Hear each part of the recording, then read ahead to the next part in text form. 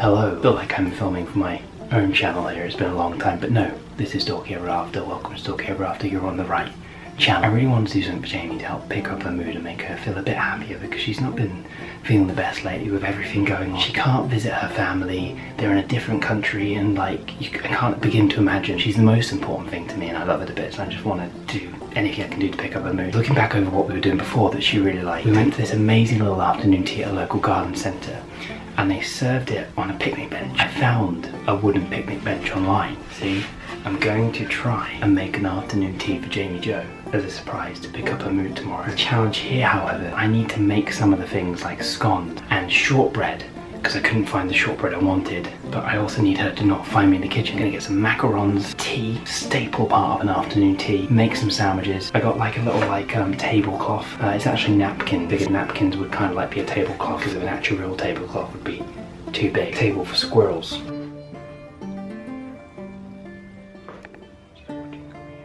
Okay, so I'm going to start with the Scottish shortbread. For this, I need 350 grams of flour, 125 grams of caster sugar, and some butter. Let's do it.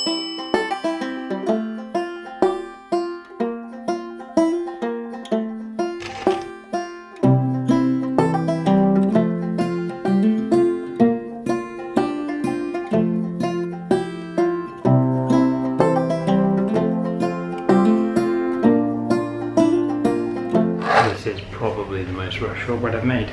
Um, It said to flatten it with your hand on the ingredient. Um, well, I kind of said flatten it, um, which I did that. And it said flute the edges, and I'll be honest, I didn't quite gather the flute part and didn't want to look it up, so I've just... Butchered the edge of the shortbread with a fork. That looks so bad. okay, the scones are apparently a bit easier, so I need 350 grams of self-raising flour. I'm actually going to halve this. I'm going to do 175 grams of self-raising flour.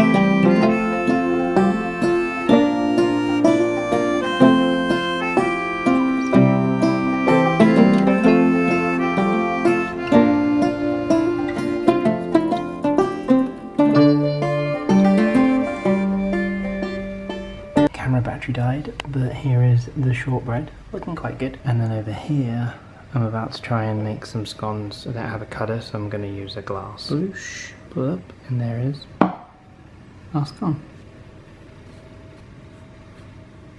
Ready to go in at 22 past midnight.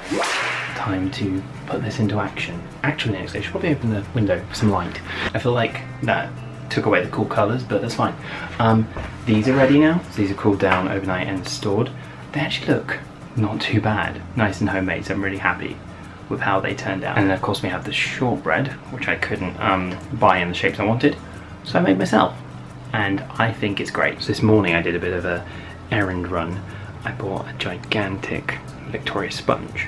So, and I'm about to go make some sandwiches and then we're good. Did rain overnight and looked really bad this morning, but the sun has come out, so nature is on my side today. Have all the goodies, this gigantic sponge, and some bread.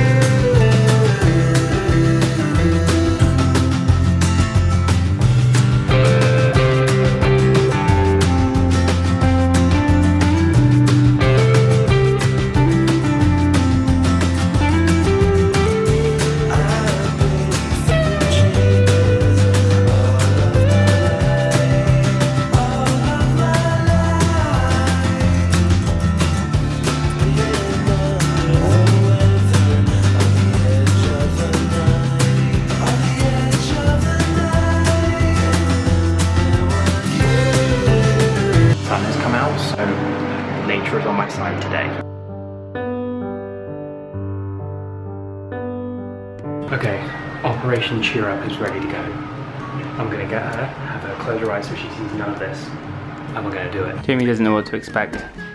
Okay, cool, you ready? So here's the challenge. You're gonna have to go through the room with your eyes closed. Oh, Step up. Uh-huh. Cool. And then you can open your eyes, just don't look inside. Uh-huh. Yeah, you can open your eyes now. Okay. Sit down. You, you must guard the table from the wind. I need you to guard the table now. I have some tea for you, madam. Your choice of mug. Kirby. I can just help you pick up the table real quick. and we just do it right. Okay, we moved inside because the wind was too nuts outside. I'm gonna go get Jamie. But here it is.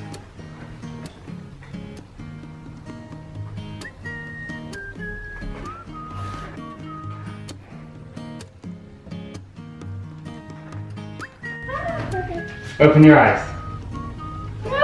Oh, you're so sweet. You've been so sad lately with like the family stuff and not being able to get home. I wanted to give you a bit I of wasn't like quite expecting like life that. before this. So I thought, what did we do before all this craziness happened? And I wanted to give you the exact same thing we had. So I, two weeks ago, ordered a custom wooden bench online, and it finally came. And then I, I stayed up late last night and made some shortbread from hand to get the little triangles like the ones we had. I tried my hand at making my own scones. I've got some backup actual M&S scones if they're not good. I made some egg mayo, some ham, exactly what we had. Mine's the brown bread if you're not a big fan of brown bread. No, There's some tea, and there's some Costco sponge I went and got today, and some macarons in your Mickey jar. I love you to bits. You're the most important thing in the world. You are. Playing Kirby Cafe music for Jamie as well. That's cute.